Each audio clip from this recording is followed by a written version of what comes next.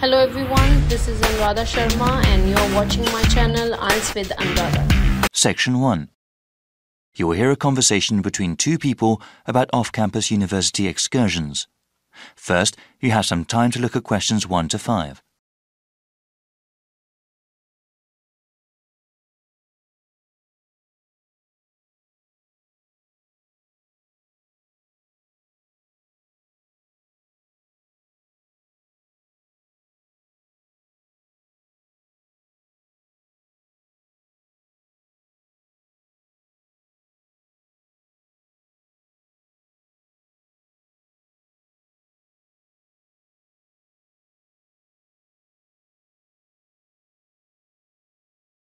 You will see that there is an example which has been done for you. On this occasion only, the conversation relating to this will be played first. Good afternoon. Good afternoon. What can I do for you? Yes, I understand the university offers, uh, organized trips to. Correct. We have about three trips per month on both weekdays and weekends. There are three trips per month, so that has been written in the notes. Now we shall begin. You should answer the questions as you listen because you will not hear the recording a second time. Listen carefully and answer questions 1 to 5. Good afternoon. Good afternoon. What can I do for you? Yes, I understand the university offers, uh, organized trips to. Correct. We have about three trips per month on both weekdays and weekends. I see. Can I ask what kind of places do you go to? Certainly. Well, usually there are excursions to the city. There are many interesting cultural venues to see, such as theatres and art museums. We also organise trips to the local mountains for hiking, or sometimes even to discount shopping areas around here. We don't organise guided tours, since most students like to explore on their own. How far away are they usually? Well, it's a good thing the city is not too far south of here, since most of the excursions we organise go there. They are never more than two hours away. And so, how much do I have to pay for each excursion? Oh, the great thing is that the transportation is free. You pay for just entrance fees and the like, or for whatever you buy. That sounds great. Yes, and for certain events, like theatre shows, you can get a discount on tickets when you buy them through the school. Oh, really? So, how do I buy discounted tickets? When we travel to the venue, you will be given a discount at the box office or the ticket booth if you show your school identification card. You can also purchase tickets beforehand for you and your friends from the university website at the discounted price. All right. What part of the website is it? Well, log on to the university website with your ID number. Right. The login screen on the main page. There will be a section called Campus Activities on the navigation bar on the left side. In that section, there is another link for off campus excursions. The monthly schedule is shown there, and there is also an online form to purchase any discount tickets available. Nice. Thanks for the advice. Before you hear the rest of the conversation, you have some time to look at questions 6 to 10.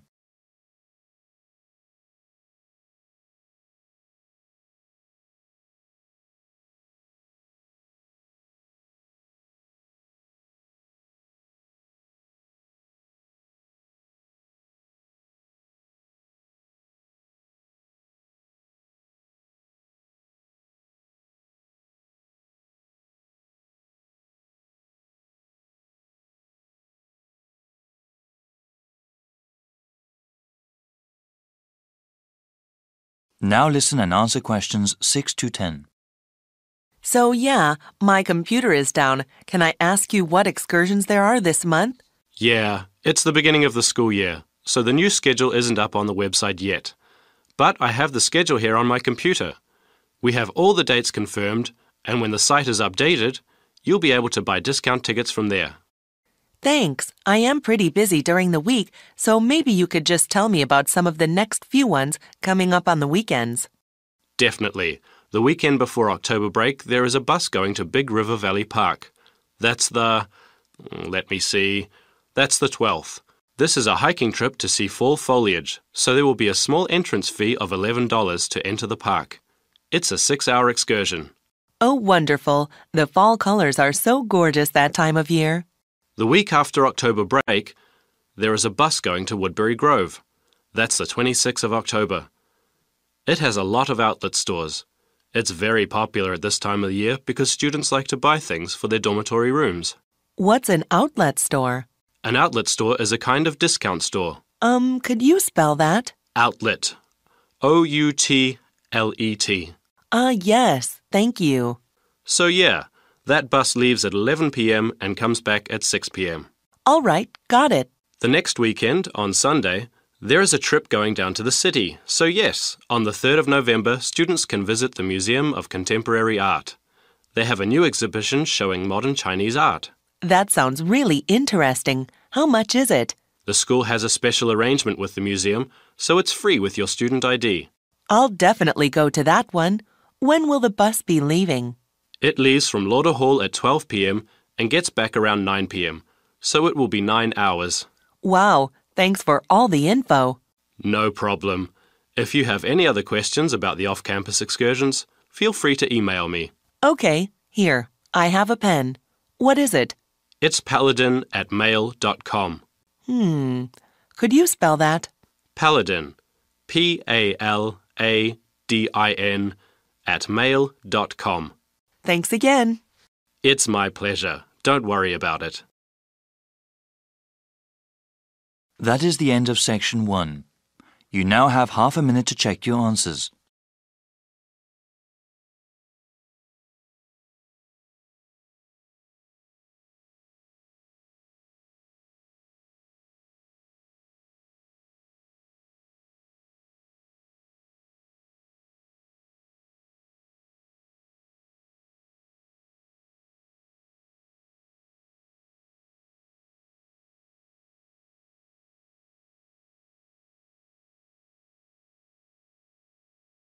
Turn to section 2. Section 2. You're going to hear a talk by a tour guide about the local history of Harbour Town. First, you have some time to look at questions 11 to 15.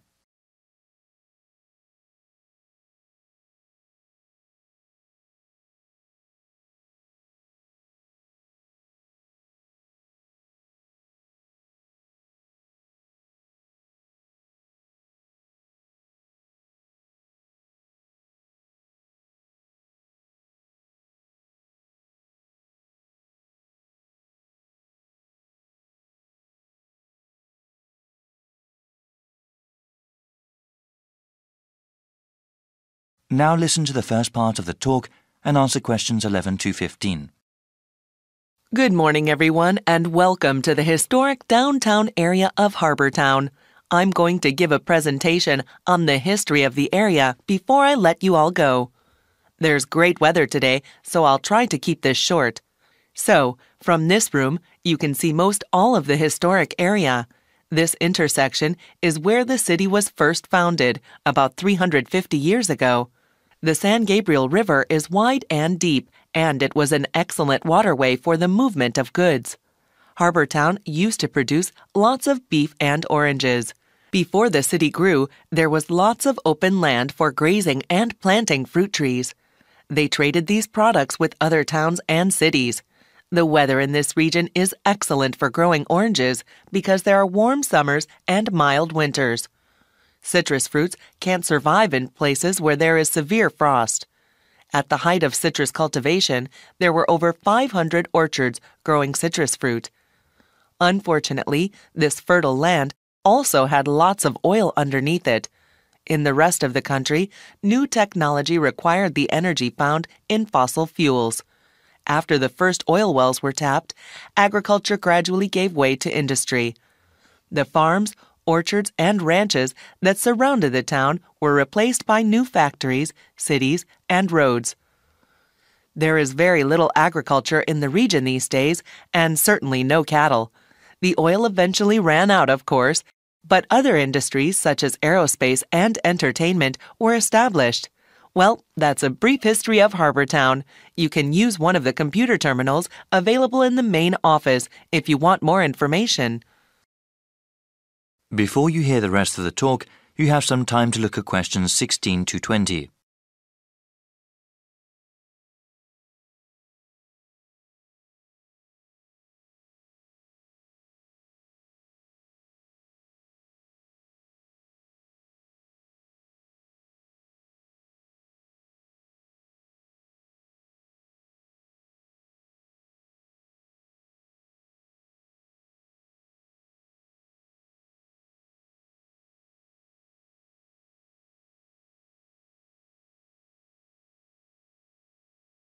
Now listen and answer questions 16 to 20. I will highlight some of the sites here just to give you an idea of what we have in the historic center of Harbortown. You can then explore the area as you please. So, I've already mentioned the intersection where the city was first founded. The main east west street is called Sunset Road, and the main north south street is called Santa Monica Avenue. The central office we are in right now is at the northernmost end of Santa Monica Avenue. There are public restrooms here, as well as computer terminals that connect to the internet. Across from the central office is the fruit market. At its height, people from all over the country came to buy fruit from the distributors there. If you travel south from the market and go past the intersection, you will see the Ranch Museum. Here you can learn about the old ranching lifestyle that was such a hallmark of our region. Now, going back to the intersection, if you go west of Santa Monica Avenue, you will find Old City Hall. It is an excellent example of the architecture of the time. In the opposite direction, going east of the main intersection, you can see Sunny Movie Studios. They don't make movies there now, of course, but it was the first company to make movies in our region. Also, the subway station is accessible from all four corners of the intersection.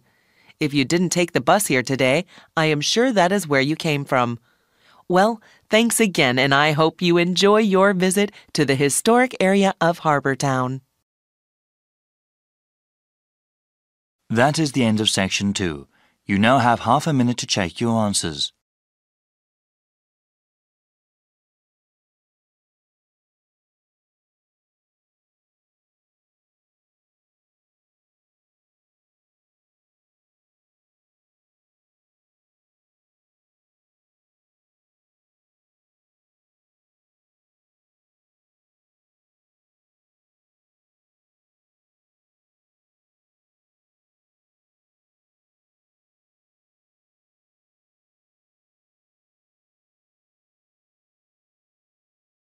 Section 3. You will hear a conversation between a student, Kayana, and a professor about an assignment. First, you have some time to look at questions 21 to 27.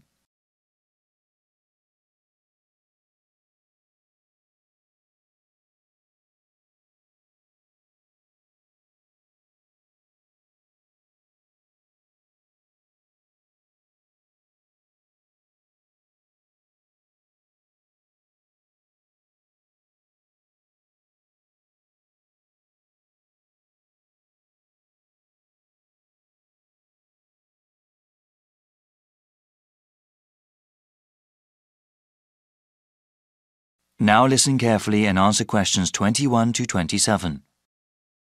Hi, Dr. Reed. Are you busy right now? Do you mind if I come in for a second? Hey, Kiana. No, I don't mind at all. Thanks.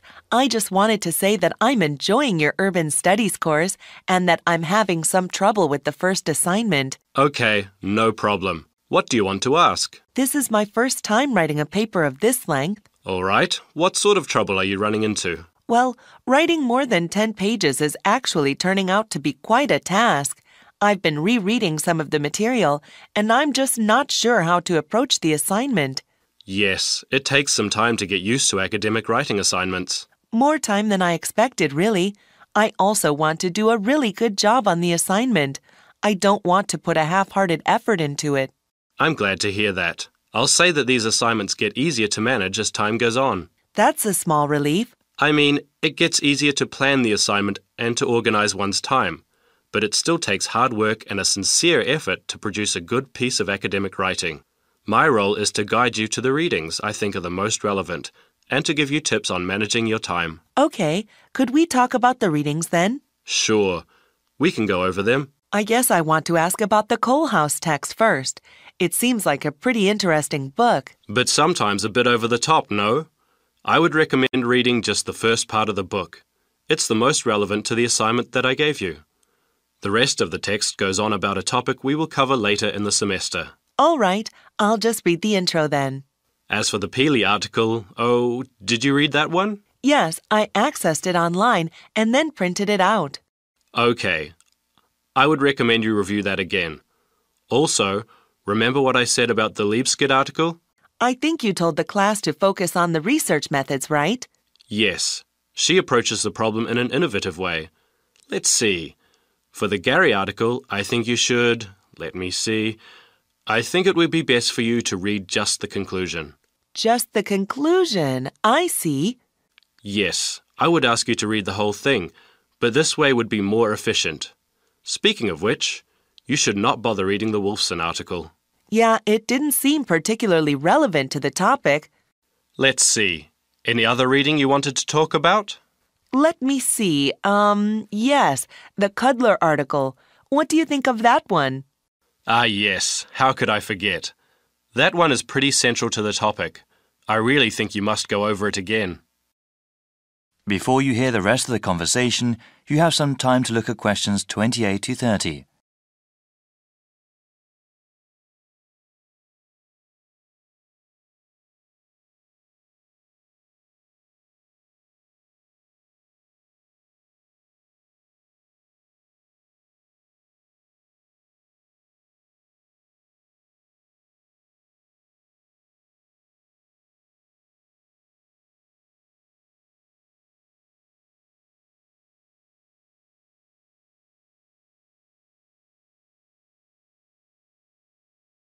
Now listen and answer questions 28 to 30.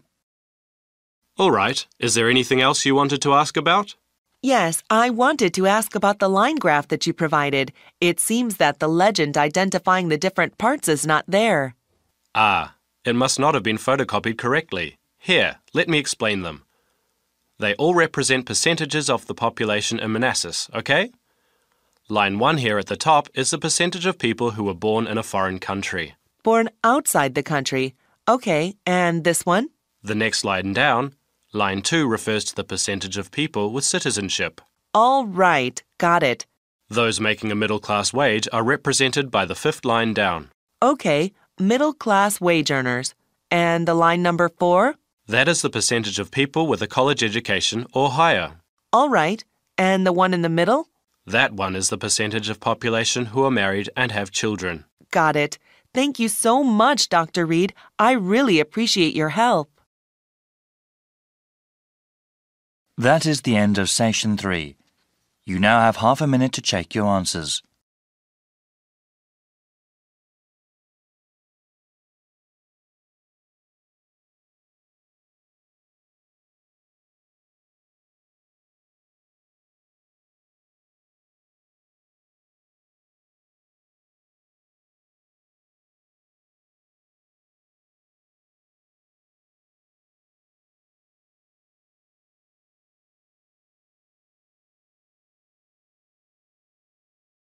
Now turn to section 4.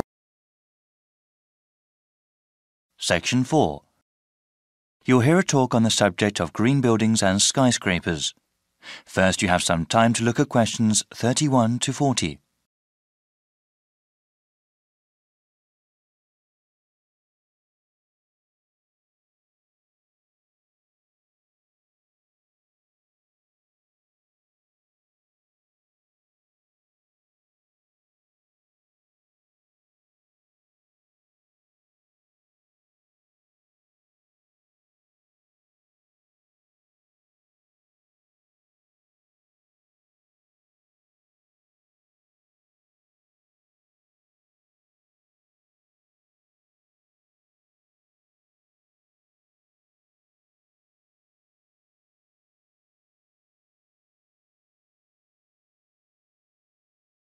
Now listen carefully and answer questions 31 to 40.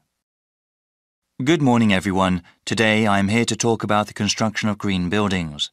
Given the current state of the global environment, new types of architecture, design, and construction techniques are absolutely necessary. My brief lecture today will cover two topics what qualifies a building to receive a green certification, and also how widespread such sustainable buildings currently are. There is a growing demand for so called green buildings. Government agencies and corporations around the world understand that sustainable workplaces are quite cost effective in the long run. Though initial outlays for construction are usually more expensive, the savings in maintenance and energy costs make up for it.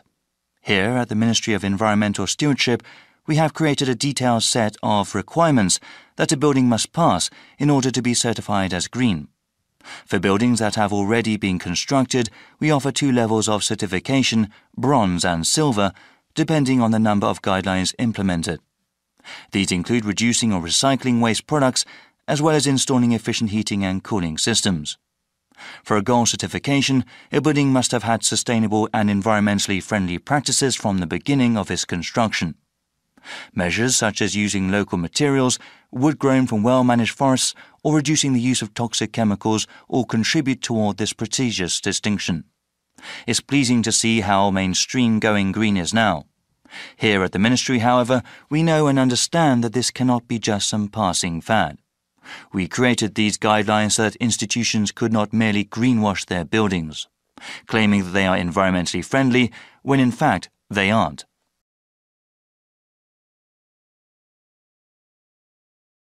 I would now like to talk about some buildings that have received these special certifications.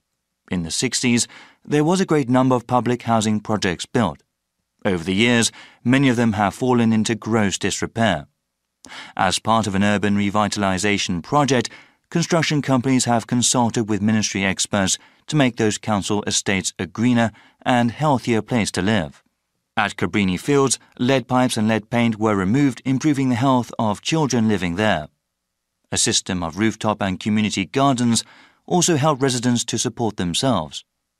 It was one of the first buildings we awarded a bronze certification to.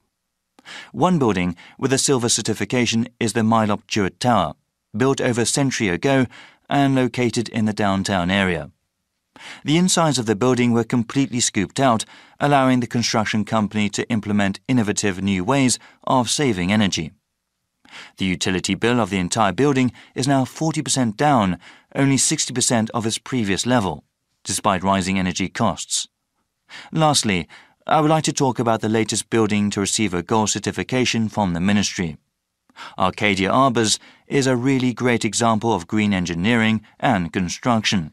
From the very beginning, the project heads made a really unique plan and held to it.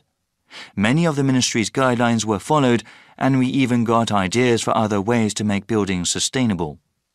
The centerpiece of this skyscraper is a multi story hanging garden that serves both an aesthetic and practical purpose. That is the end of section 4. You now have half a minute to check your answers.